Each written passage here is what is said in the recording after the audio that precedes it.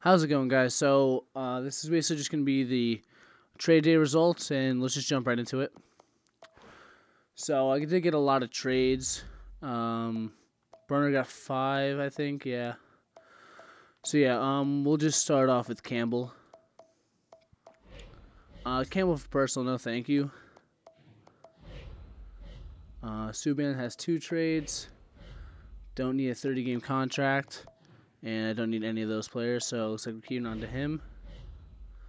Brunner has five trades. Grabner, Lombardi, Brown, and Booth. Uh, I don't think that's enough value, so no thanks. Definitely not enough value.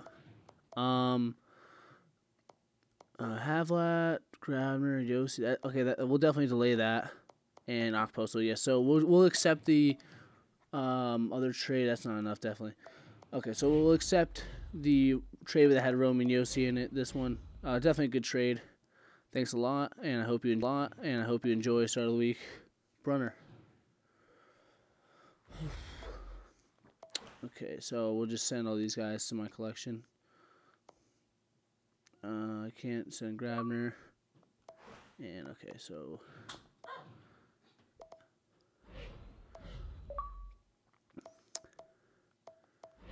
Okay, so Jeff Carter has four trades. Definitely not worth it. Definitely not worth it. And not worth it. So looks like, uh, actually, yeah, we're gonna keep on to him. They just got uh, Havlat, so we don't really need him. Matt Carlton get any trades. Cory Conacher got four trades. No, thank you. Um, no, thank you.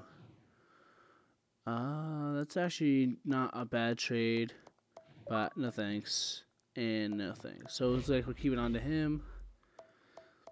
Starley Talusti got two. Jonathan Blum, definitely not. He's not even the start of the week. Uh, Havlat and Backstrom.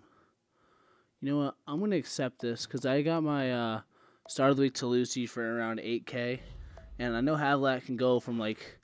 Um, I know he can go from about like 10 to like 12k so that's definitely already more and then plus the other player and the pucks. So now we have patrick marleau with one trade.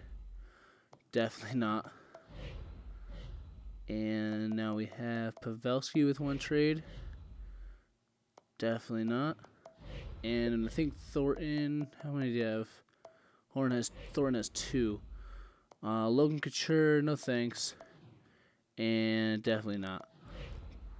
Okay, guys, so thanks for sending in your trades, and uh, yeah, that's about it. Uh, I'll see you next time. Peace.